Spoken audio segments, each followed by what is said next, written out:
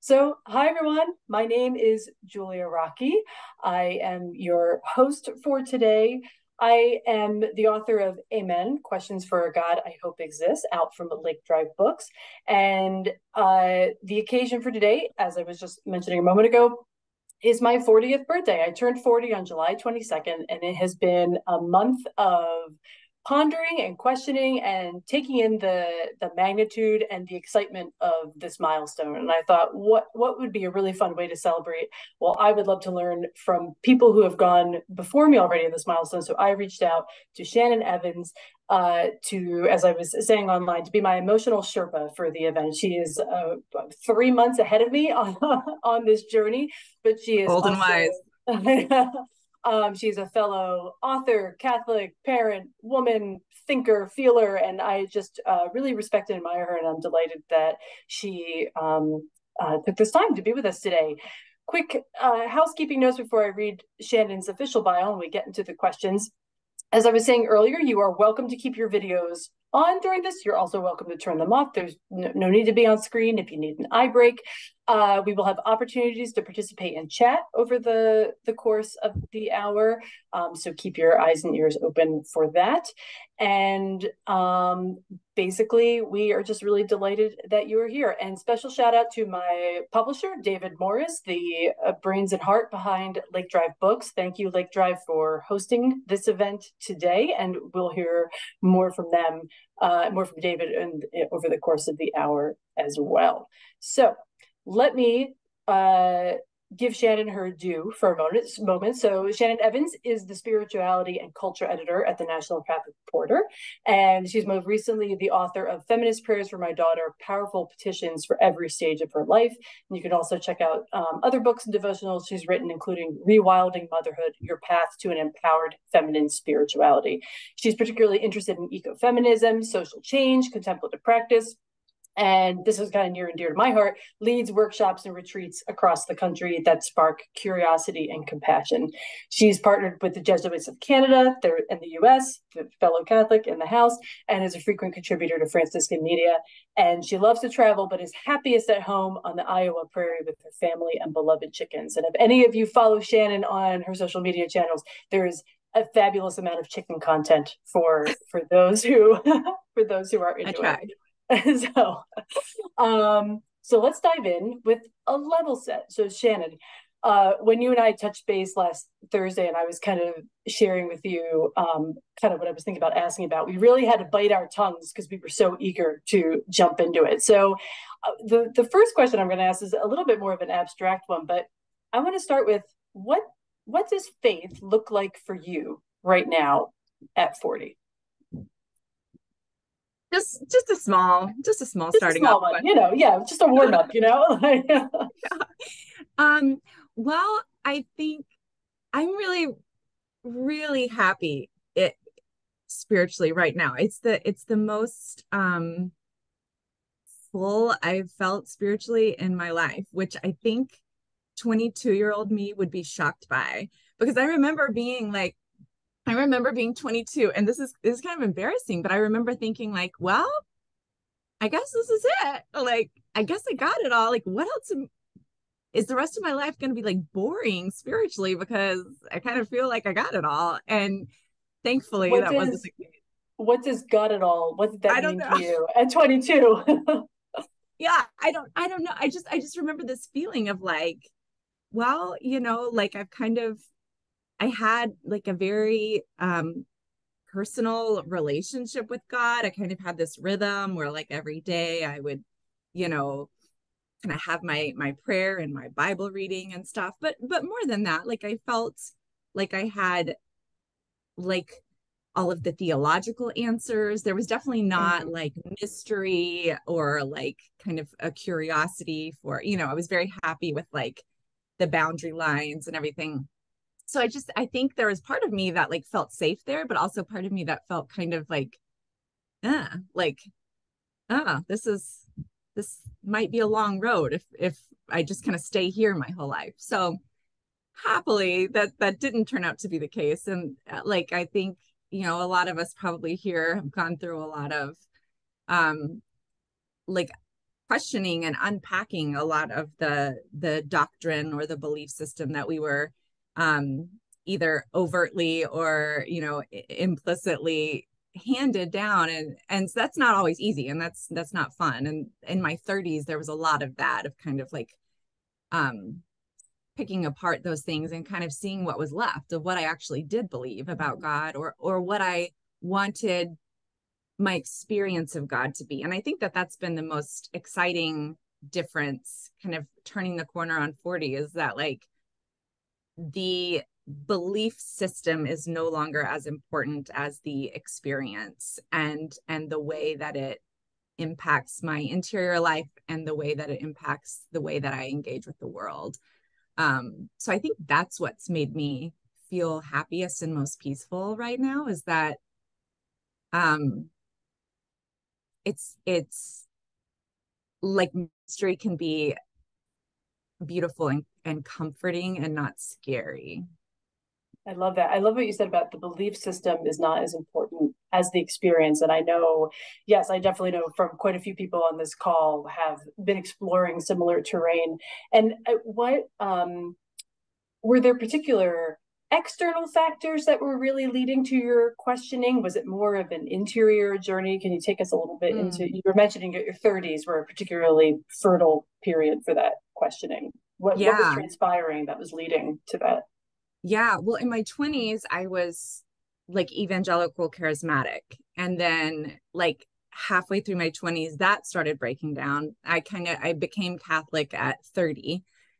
And oh, so there was already yes, yes. Oh, um, and my husband and I were missionaries in Indonesia when and that was kind of when everything started like unraveling of like having to question a lot of these things that I had been taught and that I just naturally assumed were true because that's what I had been taught.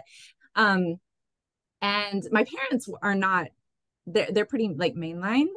Um, but in college I kind of got into like the more evangelical movement. And um, so yeah, I kind of like deconstructed into Catholicism and thought I was done then, you know, and then it was like then my my husband is definitely like a like has like a, a mystic heart and he's just sort of always like asking questions and seeking new experiences and so i i really like my comfort zone but he has not let me stay there not oh, not out of force but because he's curious about all of these different paths and so it's sort of forced me to also like learn about things that i wouldn't naturally have explored like whether that's other spiritualities or um religions or like questioning even like you know the like catholic doctrine or teaching or kind of like mm-hmm. exploring like what is the history behind this? Like what what did people believe before this? And what you know what came later? And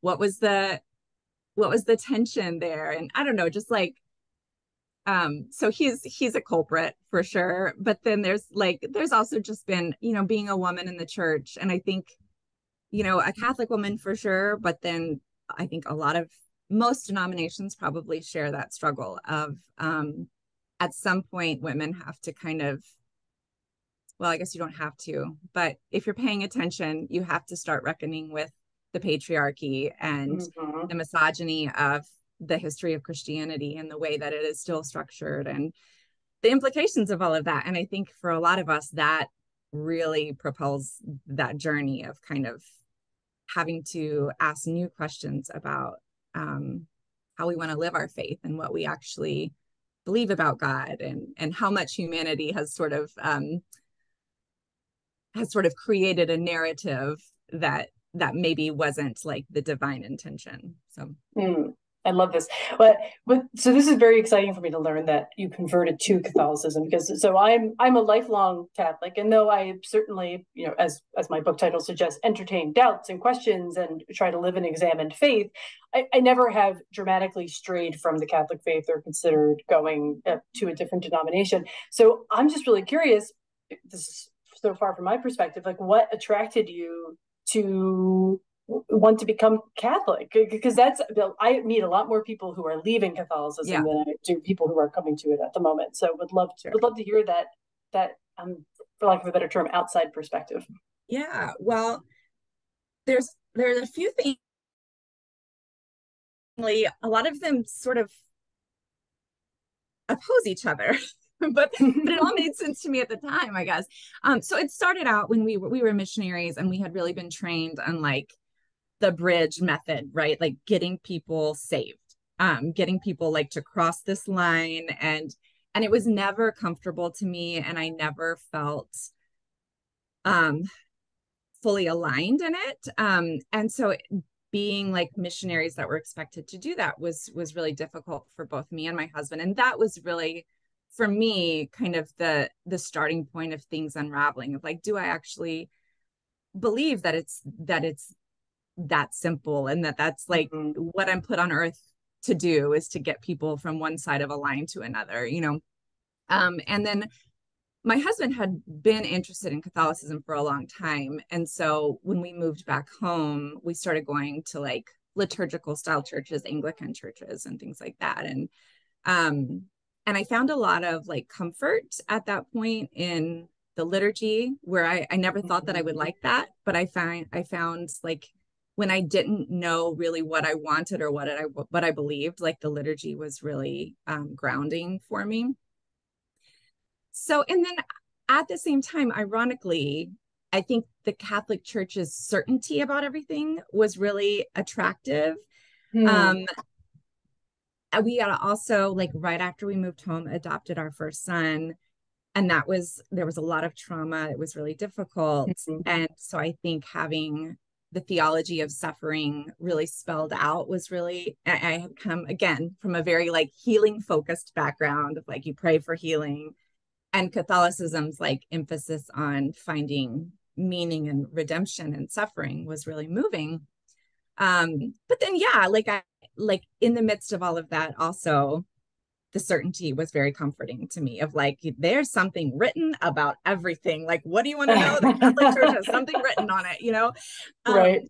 And and then at the same time, we got involved in the Catholic worker movement, which is um like radical hospitality, solidarity, the works of mercy, um, but in a completely different way than we had experienced as missionaries, which is very um, relational and solidarity based and reciprocity. And that was, and yeah, so a lot of things kind of coalesced at the same time to make Catholicism really attractive. So it's not a simple answer, but.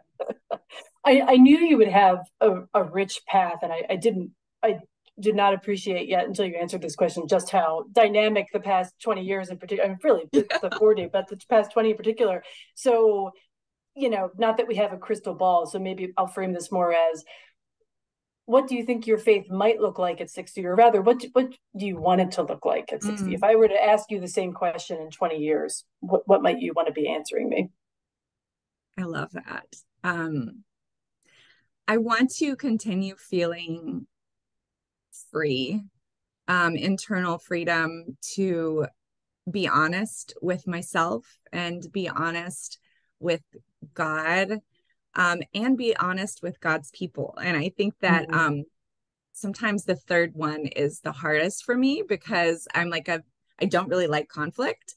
Um, and so I historically I have really had strong strong opinions or beliefs or practices and kind of kept them to myself. And so growth for me has been like saying no actually i disagree with this or or this is how i see it which is maybe different than what you're presenting or things like that so i want to grow more in that kind of freedom to be able to um yeah to be able to be honest in my faith and i also i i really am curious about I think that there's a lot more for me to explore about eco spirituality, which I, I put in my bio because it is something that I have found.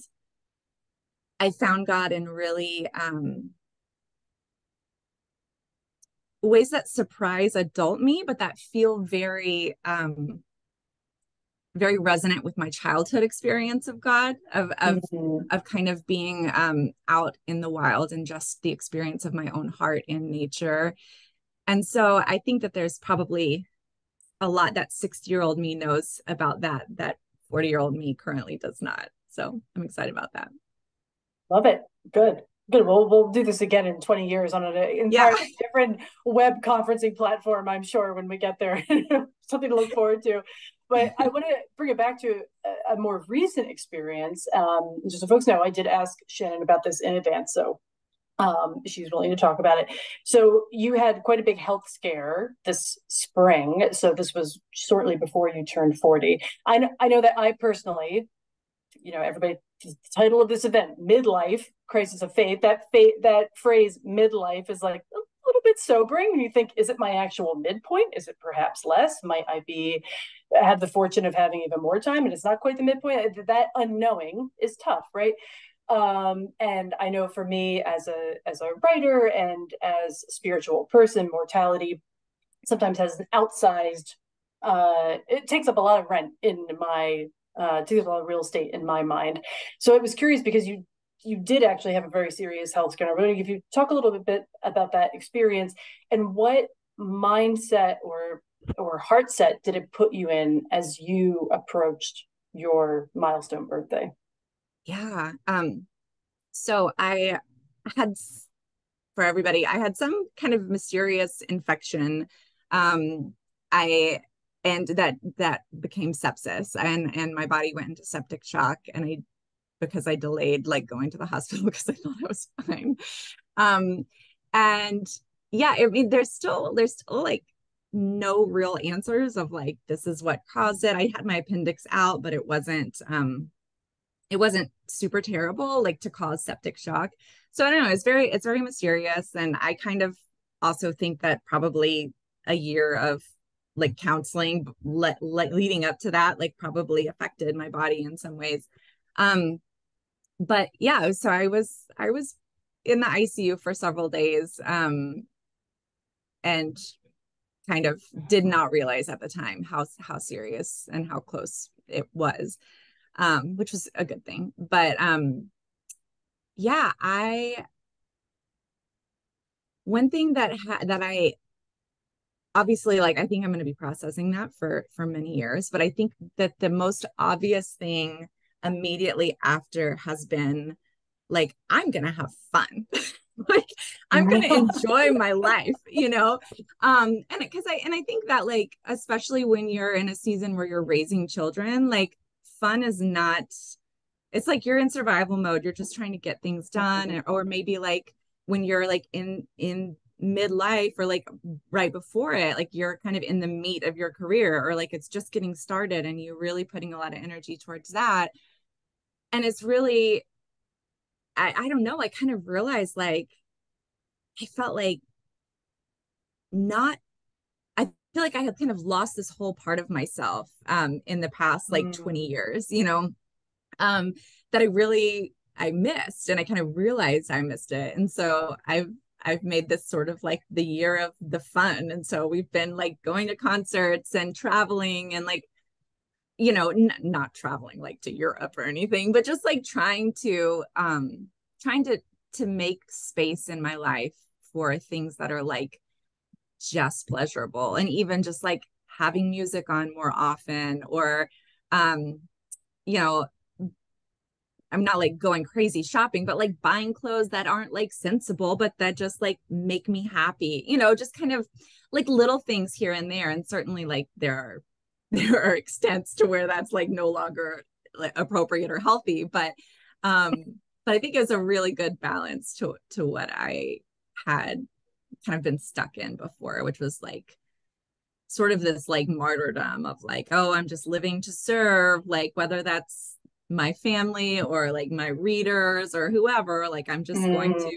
give of myself all the time. And no, now I'm kind of after that experience, it was like, I don't know how much time I have. Like I want to, I want to be happy. I want to have fun, and I, and I want to like bring people I love along with it. So like I took my two oldest kids to a concert this spring and like my husband and I are going to a concert like a music festival this weekend for our anniversary instead of just like doing dinner and a movie you know just like yeah. things like that and you know is i so appreciate you saying that because i think another aspect we lose sight of you know intimations of mortality or not i think those of us who contemplate spirituality forget that joy and fun and play are equally sacred. And you, you were talking earlier about kind of a theology of suffering and finding meaning and grief and suffering and stuff. And and so often that draws our focus and attention, and we forget the duality of of um of of God, whatever you know higher power we conceive out that, that of there to be. And uh, so I love that you're reclaiming this and and um, reintroducing it. It sounds like to your to your life, and I I, I can't help but think that that's going to bring even more dimension to your faith life and your spirituality as well.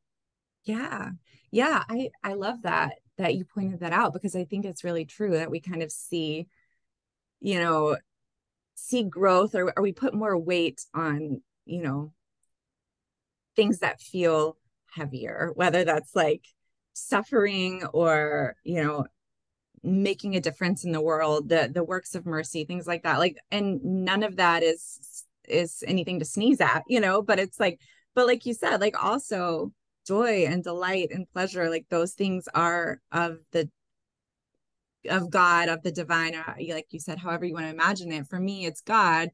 Um, those things are all a part of it. And I think, you know, the other day, my friend, my friend was like, every time I see your Instagram stories, you just seem like you're like bursting with life. And I was like, well, I don't know that I feel like that, uh, you know, every minute of the day. I wish there I are a lot of good filters, a lot of good filters on Instagram.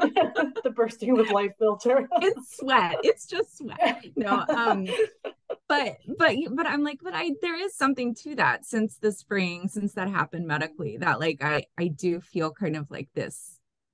Um, I feel more alive, and I feel really grateful, and I absolutely feel that that is a spiritual experience, that kind of aliveness. Yeah. Awesome. Know, Shannon has mentioned parenting a couple times, so I'm going to touch on a parenting question. But everybody, after we're going to have an opportunity for you to weigh in with questions in the chat right after that. So get your typing fingers ready if you um, if you had anything on your mind. But we'll we'll get to that in a few minutes. So, Shannon, you've mentioned a couple times your your family. Um, I too am in the parenting stage of life, two children under five.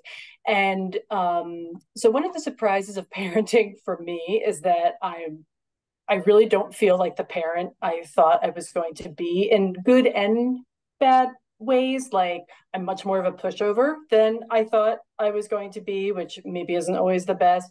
But I find that I also find that I'm really eager and willing to play, which is really fun and rejuvenating for me and has been a you know a great way to connect with my children and get to know them. So things like that. Um, and one of the interesting things, though, and granted, pandemic was in the middle of this, so we weren't going to church in person regularly. We weren't even really watching it um, online much because it was just too. It was. What, it like was not. It was kids. I know, right? It was like basically they were treating it like Saturday morning cartoons, and like we're just going to do other things during this, and we're all still in our pajamas, and didn't have quite the gravity yeah, or or sanctity we were hoping. But we have since started going back to church in person um, so I was really glad to make that faith practice visible again. I'm finding I'm struggling with making our other faith practices and values visible. Like I wrote a book about spirituality that means nothing to to my children and like that's I can't connect with them around that level of it yet and we try to connect it to nature and talk about God's creation and you know we say prayers at bedtime but I feel like I haven't lit particularly my my older child like haven't lit a spark yet about the sense of something bigger. And i would just i'm so curious how you've done it with uh with your children. Granted this may be different from child to child as well. How have you embodied your faith for them and how how have you encouraged them to think about something beyond themselves? Mm yeah. whether that is a faith or just a greater sense of you're not the center of the universe. right. Yeah. Well, I will start this off by saying I absolutely do not feel like an expert. And this is something that Eric and I are kind of frequently come back to because we often don't feel like we're doing anything. And we're like, okay, we've got to do like gotta you know initiate some sort of practice for the kids or whatever um i'm also like very uh kind of um protective of like what they learn from other people about God. So we do like religious education at home. They don't do it at um a parish because I'm like, I don't want people saying like X, Y, and Z to my kids or whatever. You're like, you know, it's kind of a control freak thing and I can't do it forever, but they're still like young enough that I can get away with it.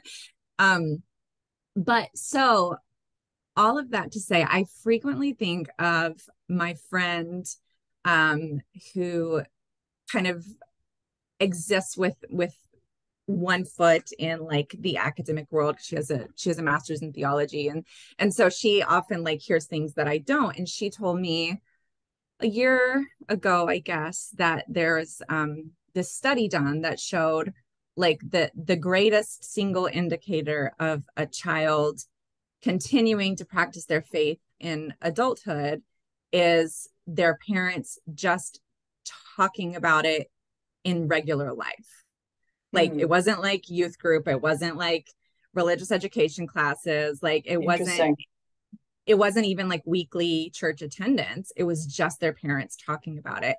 And and kind of and that makes sense to me, you know, of like because kids and I mean especially this generation like there's as we all know, like everything's changing. And um I think if if it doesn't seem like it applies to life and it doesn't bleed over to um how they how they find themselves in the world and how they engage the world around them then like they're not going to care you know um there's just too much too much else out there for them to explore and it's got to it's got to be authentic and it's got to make mm. it's got to be more than just lip service um so that was really I, I come back to that a lot. And so I, I really rely on, although we do like experiment with different practices throughout the year, like I think the biggest thing I keep coming back to that is the biggest thing is just talking to my children about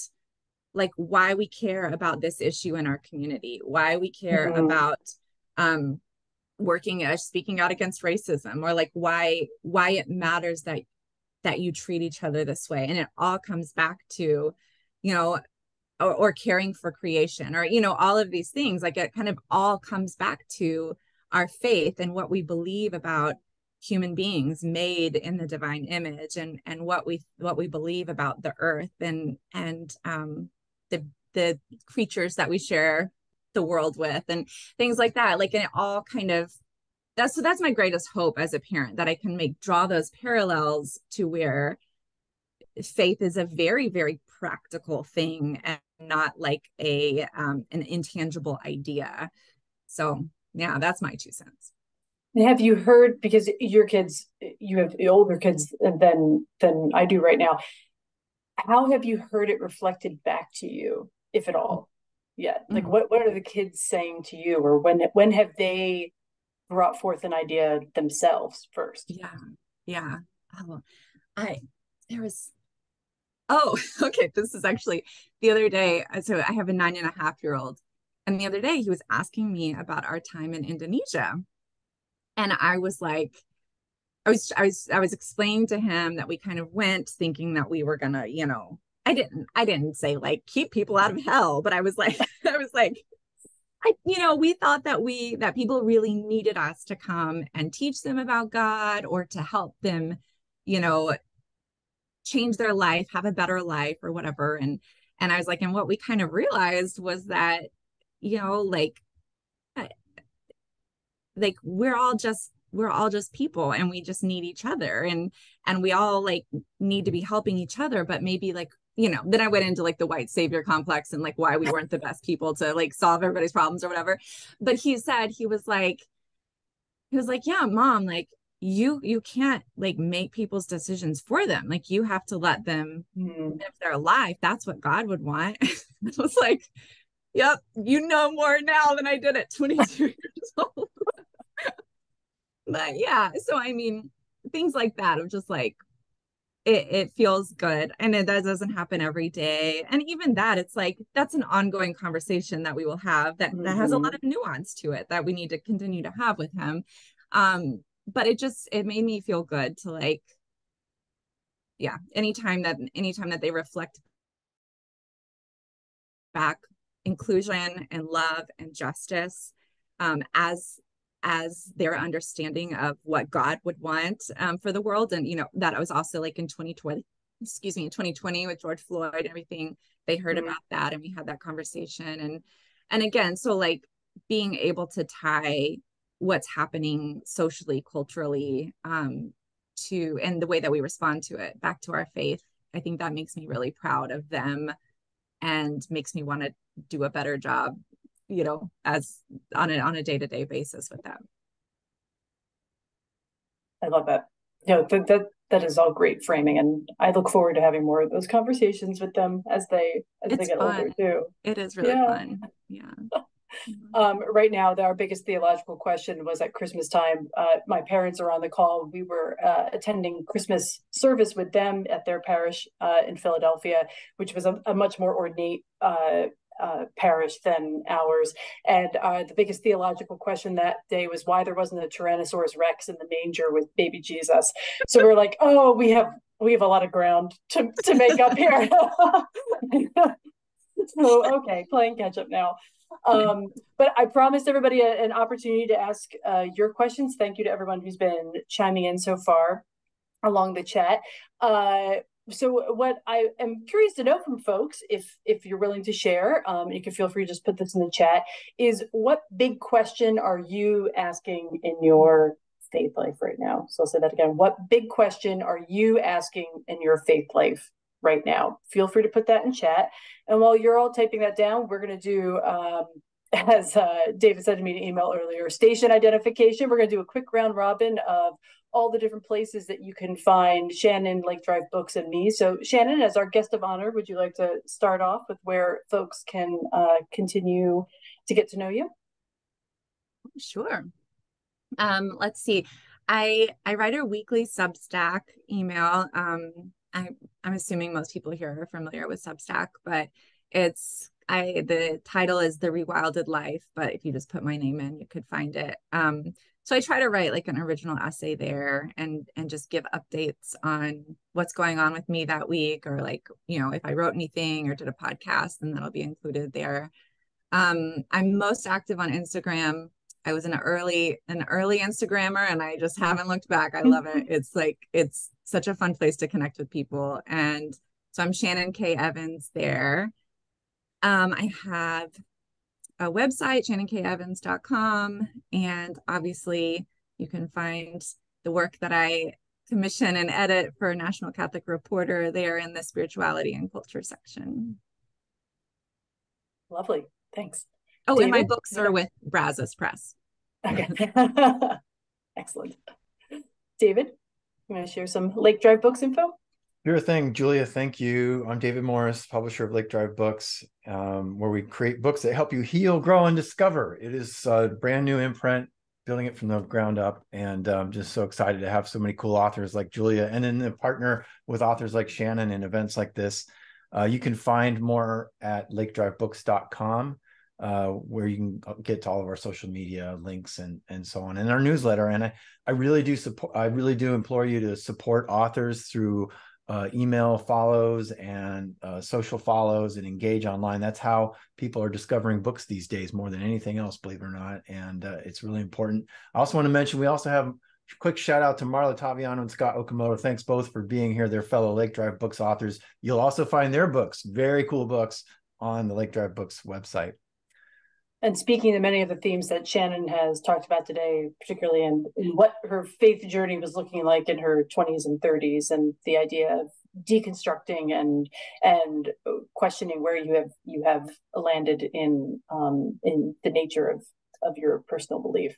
Um, and then, so yep, that leaves me. So, as I mentioned earlier, uh, I'm the author of Amen Questions for God I Hope Exists. You can find that on the Lake Drive Books uh, website. We have lots of different re- retailer ordering options. Uh, you can also find me at my website, juliarocchi.com, where you have an opportunity to sign up for my monthly newsletter. Uh, and I write a monthly reflection there as well. Uh, I'm across social at different handles, but if you any permutation of my name, Julia Rocchi, you'll be able to find me. Uh, but it's also one stop shopping over at my website. So again, that's juliarocchi.com. And I'm really glad you all could be here today. So thanks to those of you who put um, some, there's some really good questions here. So I'm just going to use a couple of these as a jumping off point. Um, so I'm intrigued by Melanie's question about what do adult friendships, especially post-COVID adult friendships, look like in midlife? Uh, what should they look like, or is there even a should? Uh, Shannon, do you want to? I yeah, I'd love to hear because I, I get a sense from your. I mean, I know social media isn't always reality, but I get a sense that you have a really vibrant community around you, online and off. And yeah, what what has friendship friendship looked like to you in this stage of life? Mm. It probably looks better, like from from your point of view than it actually is. I mean, I find it hard too.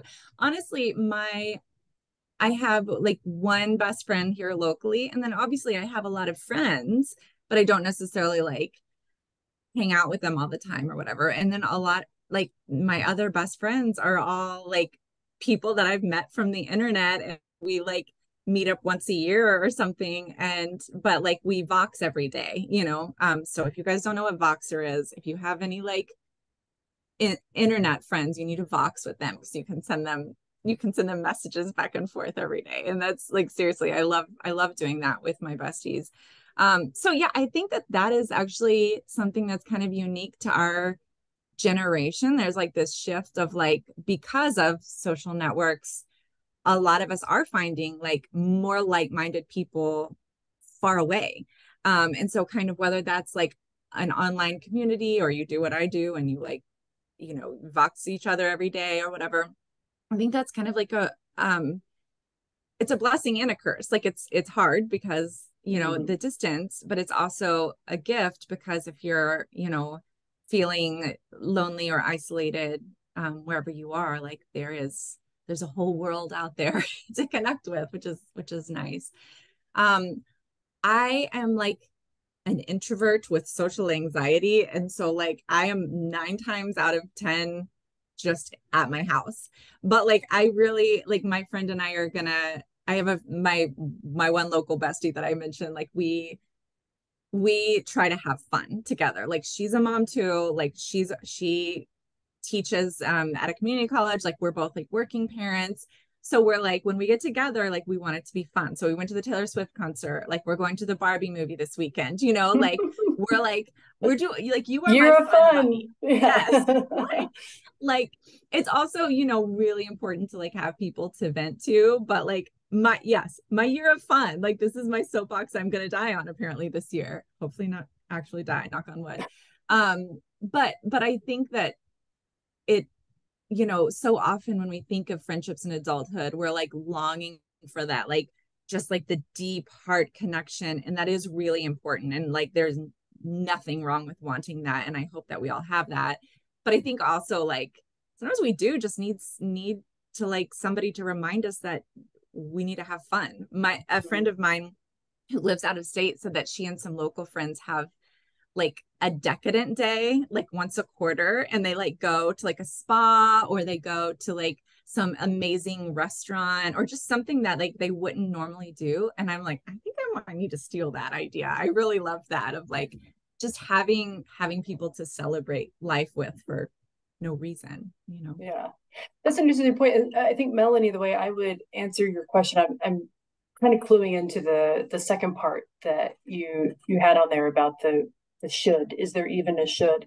And I, I, think to shannon's point about there being only so much time in a day uh, particularly in a season where i'm working full-time and i'm a full-time parent and i'm trying to balance other aspects of my life like i don't know maybe writing a second book um, that i i do find that i'm prioritizing the friends who reciprocate who are willing to have that heart connection that Shannon, who actually who check both boxes. They they fill that deep heart connection, and they're the ones I really have fun with.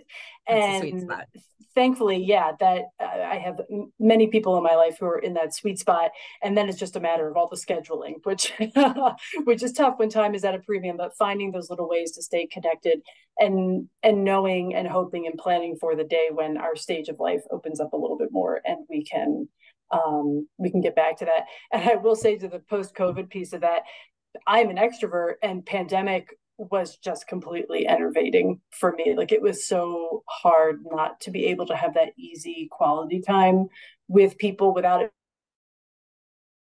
being fraught with tension or fear and especially because we all had little unvaccinated people and it just made everything harder and i find that i'm, I'm having to warm back up now that we're out of that fear and tension uh, and that I, I find myself more drained by social experiences because I'm I'm out of practice, but getting my mojo back, and I'm I'm really grateful that I'm I'm able to get my my mojo back there.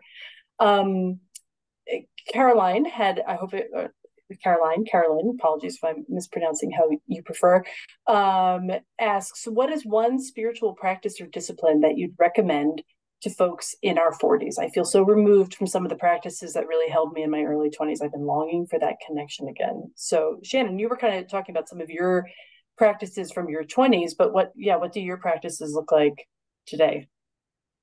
Nothing like they did in my 20s. um, yeah, I I relate to that a lot. And I think I'm still kind of in the exploration phase of like figuring out what does work for me. And I think one thing that I've landed on that I know is practices that are embodied. Um, and I, for me, like yoga is something that is is like spiritual and psychological as well as physical. So I really um I'm not like actively taking classes right now, but even just making time alone in my home to like move my body through the poses. And just it it clears my mind and i like to i like to think of it as prayer because like in that state i am just present in the moment. And um and sometimes i do kind of like make connections which i consider to be like god speaking to me like making connections about things in my life or things that are going on internally. Another thing for me is like taking walks in the woods and i know like not everybody has woods in their backyard so that's not mm-hmm. accessible to everyone but but even like somewhere in town um if there's if there's a place with trails or whatever um my spouse is very into meditation so he sits still and meditates and i could never you guys like I could just never um but like i love that he found a practice that worked for him that he was not doing in his 20s you know and he's found he's done a few different like variations of that and kind of had to trial and error to find what works for him. Um but but yeah i mean the difference between us i think really highlights some of um yeah just like that you kind of have to try things and find find your own things. For me reading can really be a spiritual practice. Reading poetry um or like beautiful prose. And i i mean I think my idea of prayer has expanded so much. I almost never sit down with a list and you know but but if I have you know like my friend has breast cancer right now. So like yes like I make it a point to pray for her every single day. But like regularly it's less of a list and more of like a, a paying attention you know of like mm. what is going on inside of me and like what is being stirred up and how am I responding to the spirit. Um yeah so that's kind of a long-winded answer.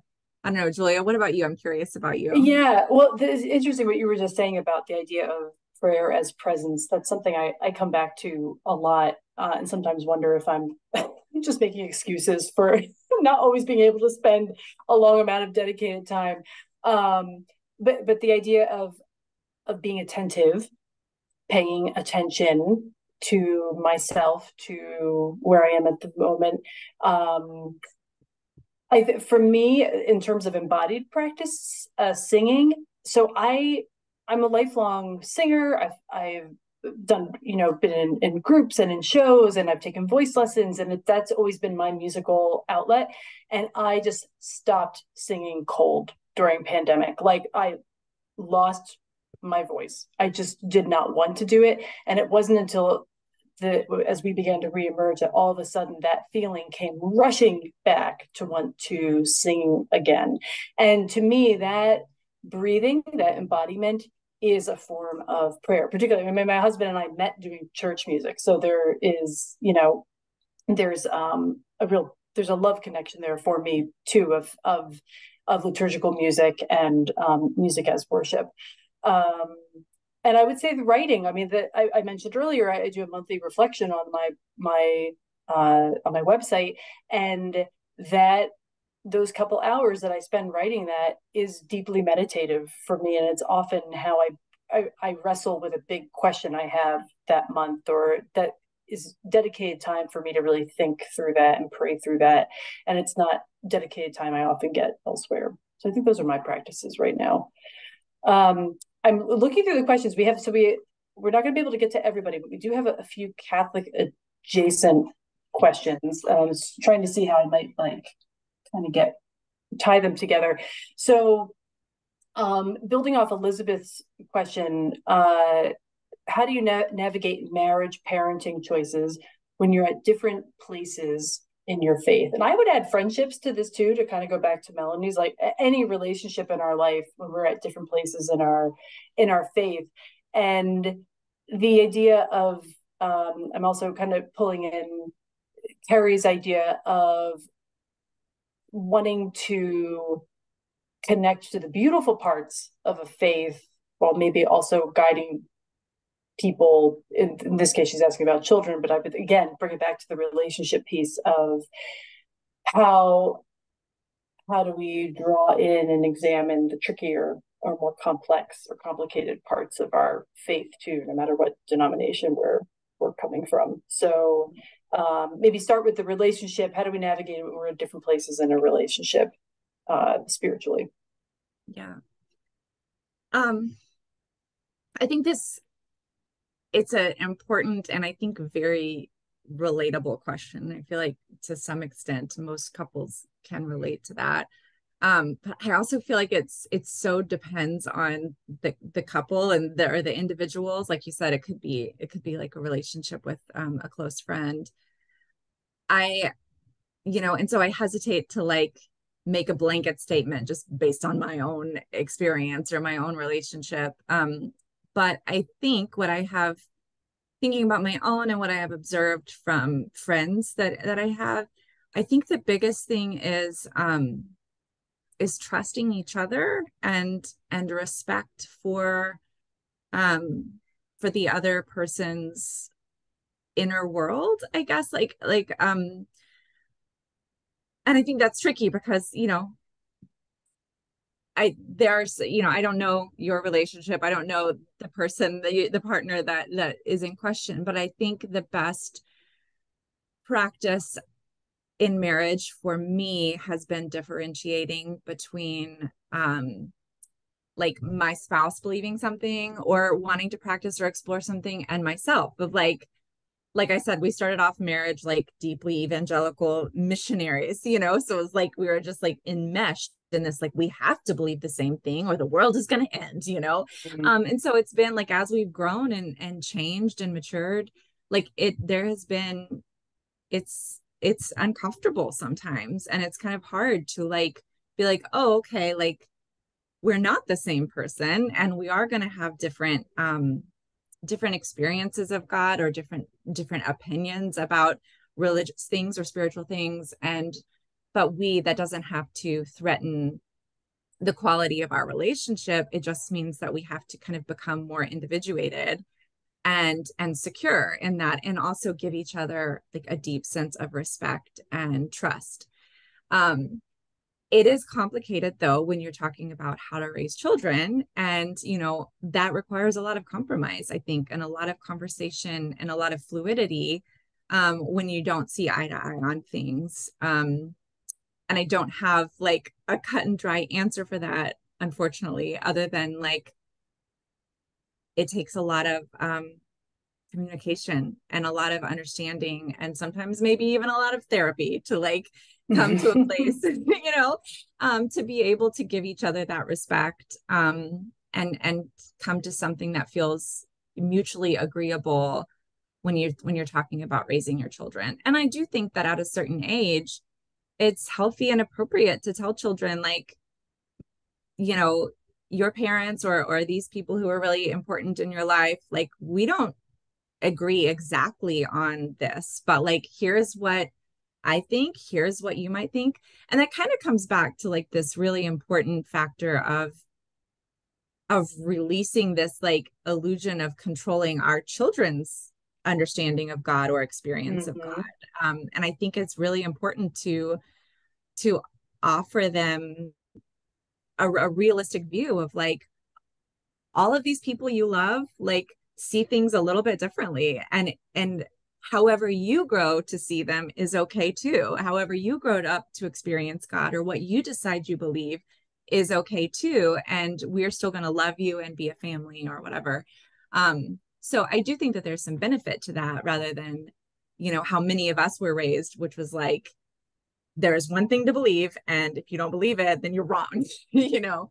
Um so i think that there's some there's some benefit there. And i'm, I'm thinking of it from a friendship perspective and i I, I know I have one friend in particular is my in mind as a master of this who I've known for decades, and I, one of the things I have struggled with in our friendship as we get older is not the fact that she is an atheist, I struggle with the fact that she is a black and white thinker. So even though on paper our values align or our political beliefs align or things like that, she uh, struggles to admit nuance in in people, in topics, uh, and I I find it I'm finding it very hard to be at that different point uh, because I feel like we can't engage in a meaningful dialogue about it, not with any aim of convincing anybody of anything. But that to me is part of friendship and part of cultivating a relationship is is being able to be uh, with and then be vulnerable with them about what you truly believe in. And I feel like I can't. Uh, we no longer have that aspect in our relationship, and that's a that's a grief for me to be at a certain point. The difference with a friendship being, you know, we don't, we haven't um, had quite the same covenant that I do in my marriage. You know, like if if we if we drift apart, we so so so be it. You know, we're we're not dissolving an entire you know, life built together. Um, but but there's still some grief and loss in that, but also hope that we will each continue growing and learning and that maybe our paths and our ability to have these conversations will intersect again. And I, I really hold on to that hope too.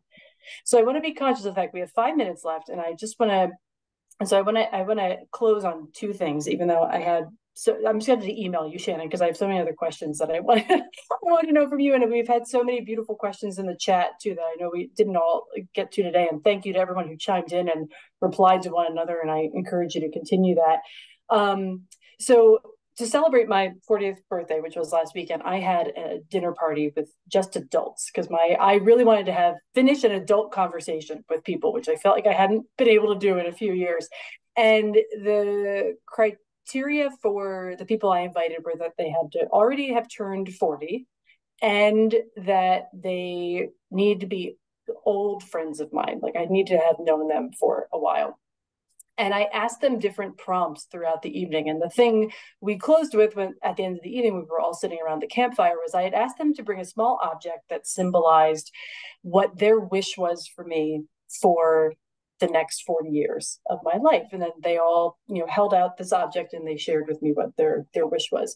So I'm gonna ask uh, I'm going to ask a version of this to Shannon, but I'm also going to ask if everybody on the call, you warm up your chat fingers again, um, so, as a birthday present to me, I would love for you to finish the sentence for me in the chat. So, for folks folks listening today, the one piece of wisdom I want to share with you is so in your case, you don't have to have already turned 40. If we have people who are younger than 40, everybody has wisdom to share. And I would love to glean it for in celebration of my birthday. So again, the one piece of wisdom I want to share with you is, and Shannon, my question for you as, as folks are typing that in is what is your prayer for yourself for the next 40 years?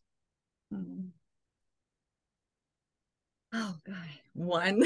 like Oh, I sounds kind of funny, but I think my prayer for myself is that I would continue to grow into myself. Hmm.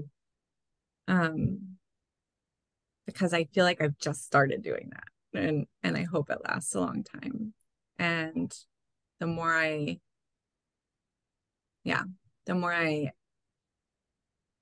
start, you know, walking down that that path, the more I feel like I am in love with the world and with life and um, the people around me and myself. So it's a lot of joy. That's a beautiful prayer. Mm-hmm. Love that. And if anybody, oh, it's coming in. Thank it's you. It's coming. Thank you. Thank you all. Um, this is wonderful. So, indeed, become more of who you are. Don't wait to live your life. Don't let fear, shame, or guilt dictate what you experience or understand about yourself. The more you love yourself, the more you'll be able to love others. Brave looks different for different people. Oh, I feel yeah. I feel that one deeply. Yeah. Uh, find and live your authentic you. Don't ever think you are done. You will change, grow, learn, and make mistakes. Uh, it's okay. Keep seeking wonder. Uh, most powerful, free and powerful thing you can do for yourself and others' faith is to be willing to say, I don't know. Oh, amen mm. to that. I love that. Um, to love others better and be less afraid. Know Imago Dei you deeply as a woman. Yes, we had a question about patriarchy earlier we didn't get to, and I so really appreciate that we're bringing that back. Uh, put love and gratitude at the center of your life every day. These are beautiful pearls, everybody. Thank you. Thank you for for spending this time with us today. Many, many thanks to Shannon for her willingness to to enter into this conversation with me and having me a relative internet stranger ask her lots of deeply personal questions. It was about, really fun. Um, who she is as a human being and as um, a child of God. So thank you. And uh, special thanks again to Lake Drive Books for hosting us all today and to all of you for joining and helping me ring in my 40th birthday with a lot of love, wisdom, and excitement. And hope to see you all across the interwebs.